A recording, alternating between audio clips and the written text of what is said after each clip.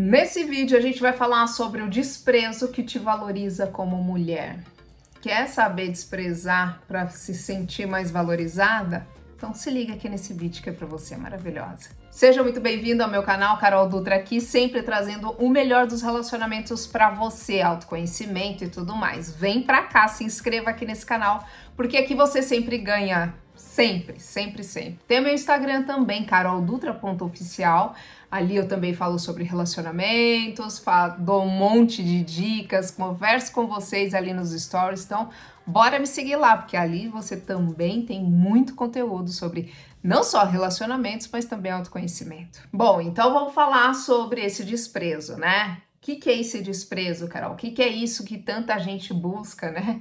Às vezes até uma certa forma de se vingar do outro, entre aspas, né? Fazer com que o outro perceba quem ele perdeu, que ele perceba o seu real valor. Na realidade, a gente nem tem que ficar pensando nessa coisa de vingança, porque eu acho que isso não leva ninguém a lugar nenhum, né? Enquanto eu estou pensando em me vingar do outro, é porque eu ainda me preocupo deveras com o outro, né? Eu ainda tô aqui no pensamento com outra pessoa aqui grudada no meu pensamento. A partir do momento que você começa a mudar isso, começa a se cuidar mais, se olhar com mais carinho, se dar mais atenção, isso tudo começa a mudar. Enquanto eu estou preparando uma vingança para o outro, é porque essa outra pessoa tem um peso muito grande na minha vida. E quando a gente fala sobre essa questão de simplesmente desprezar alguém, o que, que a gente está falando? De se cuidar, primeiramente, de se olhar com mais carinho, de se olhar com mais atenção, olhar tudo aquilo que você não faz por você, mas que você fazia por ele e que você costuma fazer por todo mundo. Chegou a hora de você parar a tua vida e começar a olhar mais para você. O que, que você faz para todo mundo e não faz para você? Quais são as pessoas que você coloca em cima de você? É claro, né, gente? A gente tem ali uma troca nas relações, tá tudo certo. Mas por que que muitas vezes você deixa todo mundo acima de você e você vem de segundo, terceiro, quarto, quinto lugar? Você é daquela pessoa também que às vezes as pessoas pedem as coisas para você, você acaba fazendo tudo para todo mundo e deixando as suas coisas que são importantes para você de lado. Segundo, terceiro, quarto, quinto plano. Então chegou a hora, se você for essa pessoa que coloca todo mundo acima de você, chegou a hora de você parar e repensar nisso.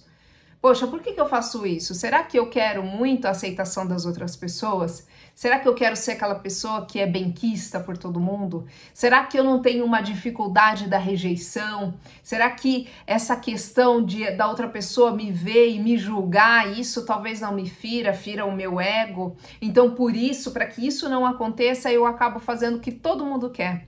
Sabe aquela boazinha, aquela querida? Pois é. Ou aquele querido? Pois é. Talvez você seja essa pessoa. Enquanto você se permanecer nesse lugar, ninguém vai te valorizar. Isso é fato. As pessoas nos valorizam quando a gente se valoriza. As pessoas nos olham com um olhar diferente de valorização, de percepção de quem você é a partir do momento em que você se dá esse valor. A partir do momento em que você se respeita como homem ou como mulher. Então, você precisa parar e repensar como que você anda se tratando. Será que você não faz sempre tudo para todo mundo? Poxa, Carol, todos os meus relacionamentos são assim. Eu começo a perceber que eu começo a relacionar com a pessoa, vai tudo bem, dali a pouco eu começo a perceber que a pessoa quer mais e quer mais e quer mais de mim. Até que chega um momento em que eu faço tudo pela relação e ela não faz nada. Por quê? Porque eu estou fazendo tudo. Porque eu sou essa pessoa que sempre batalho pelo relacionamento. Até que chega uma hora que eu fico tão cansada, fico tão exausta e que eu não aguento mais manter-me nessa relação. Porque só eu brigo pela relação. Só eu tô ali lutando para ter um relacionamento sadio e legal com essa pessoa. Só que será que é tão legal assim? Será que é tão sadio assim? Só você está remando nesse barco? Acredito que não. Então, quando a gente fala em pensar em nós mesmas, pensar em você, em como você reage às outras pessoas, enquanto que você se anula para entrar no mundo do outro, é muito subserviente, faz tudo que o outro queira, anula as próprias vontades e desejos para entrar no mundo do outro, na idealização do outro, deixando as próprias características, a própria identidade de lado para tentar ser aquela pessoa que o outro queira que você seja. Você já pensou que ao fazer tudo isso, você esteja se desconectando de si mesma, perdendo a própria identidade? Perdendo a sua personalidade, se perdendo dentro de si. Você já pensou nisso? Quanto que isso pode acontecer ou estar acontecendo na sua vida nesse momento? Será que você é essa pessoa? Se for, me comente aqui que eu quero saber. Muitas de nós a gente realmente se desconecta, né, para tentar agradar o outro, quando está muito apaixonada, para tentar fazer aquela relação dar certo. A gente se desconecta demais para tentar assim se encaixar aos moldes do outro. Mas ele não se apaixonou por essa moça ou por esse rapaz.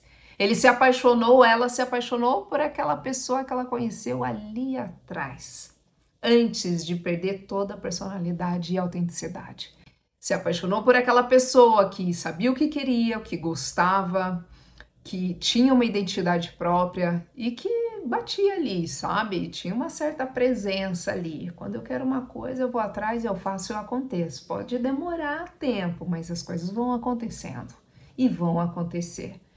Cadê essa mulher? Cadê esse cara? Cadê essa pessoa? Cadê essa força que tá aí pulsando dentro de você? Por que, que você deixou de lado? Né? Então, para tentar agradar o outro, que o outro queira que eu seja, não. Você tem a sua personalidade aí dentro forte. Você tem aí a tua pulsão. A gente diz, né, na psicanálise da pulsão de vida, que tá aqui dentro, querendo aparecer, querendo viver, querendo ser quem você realmente é. Então, coloca para fora. Vá buscar essa mulher que tá aí dentro de você ou esse cara que está aí dentro de você. Vá buscar, vá resgatar essa pessoa que existe aí dentro que quer viver a vida com intensidade e autenticidade, sendo você quem você é. É claro que dentro de um relacionamento a gente precisa conversar, a gente precisa parar as arestas, a gente precisa muitas vezes ceder, porque senão não adianta se relacionar. Se você não souber ceder, você não está pronta para o relacionamento. Muitas vezes é preciso sim mas que você não perca a sua identidade, que você não perca a sua autenticidade. A partir do momento que você se coloca como uma pessoa forte, sábia, daquilo que você quer, daquilo que você almeja, você naturalmente deixa o outro de lado. Aquela pessoa que queria que você fosse daquele jeito, idealizado por ele. A pessoa tem que gostar de você da maneira que você é. Claro, a gente está sempre buscando melhorar, não é? Também não adianta, né? Ah, às vezes tem, a gente é muito cabeçador em alguma coisa, se você assim, vou morrer assim. Não, também não. Síndrome de Gabriela, pelo amor de Deus. Mas a gente está sempre em evolução. Porém, que você nunca perca a sua ternura que você nunca perca a pessoa que você é, a sua identidade. É aquilo que te faz ser quem você é e faz você sentir vontade de estar vivendo aonde você vive, na sua própria pele. Ser e ter orgulho de ser quem você é. Isso é maravilhoso. Isso atrai muitas pessoas, muitos olhares. E aquele cara ou aquela mulher que tá lá, que tá longe, que tá te olhando, ela vai sentir isso. Então, esse desprezo, ele não vem com um pensamento em que eu queira fazer o mal para o outro, em que eu queira, sabe, espizinhar o outro, nada disso. A pessoa vai ver esse desprezo a partir do momento em que você se colocar em primeiro lugar, em que você perceber a riqueza que existe dentro de você, em que você perceber que você é uma pessoa muito especial e que merece o melhor, sim. Porque se for para pegar qualquer coisa, se for para ficar com qualquer pessoa, eu prefiro estar sozinha. E estar sozinha ou sozinho não é erro, não é demérito de ninguém. Muitas vezes, mas assim, na grande maioria das vezes é melhor você ficar sozinho do que com uma pessoa que só vai te trazer problemas, só vai te trazer dores de cabeça. Então, preste muita atenção nisso.